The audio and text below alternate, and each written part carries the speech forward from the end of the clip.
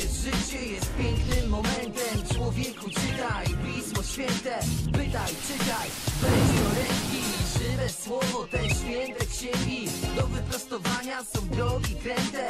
Człowieku czytaj Pismo Święte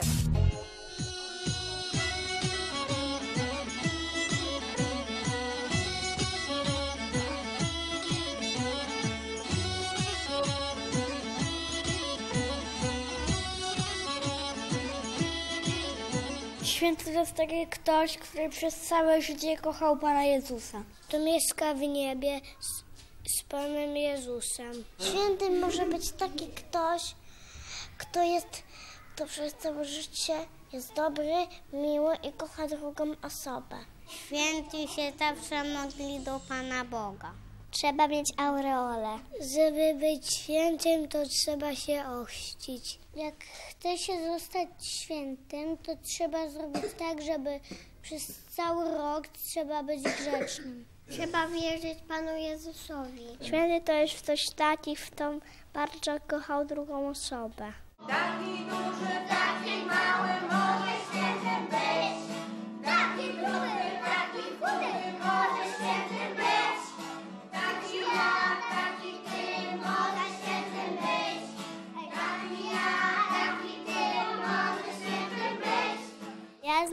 Świętego Judę Tadeusza i pomaga w trudnych sprawach i beznadziejnych. Święta Weronika przetarła Panu Jezusowi chustką i odbiła się twarz Panu, Pana Jezusa. Jan Paweł II bo bardzo y, się dużo modlił do Pana Jezusa.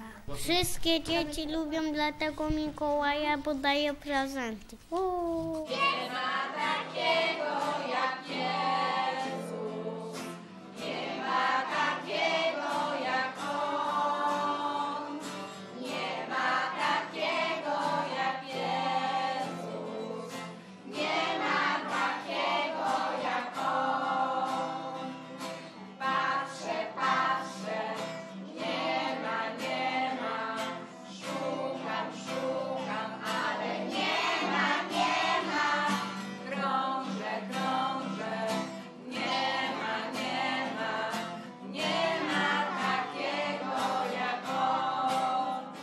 My dorośli bardzo często mówimy do siebie nie bądź dzieckiem, albo powtarzamy w kółko dzieci i ryby głosu nie mają.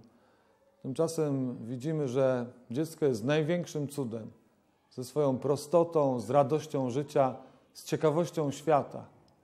I powiem tak, wszyscy święci, każdy święty i błogosławiony, znany i nieznany, wielki i mały, od świętego Augustyna do świętego Jana Pawła II, każdy z nich był dzieckiem.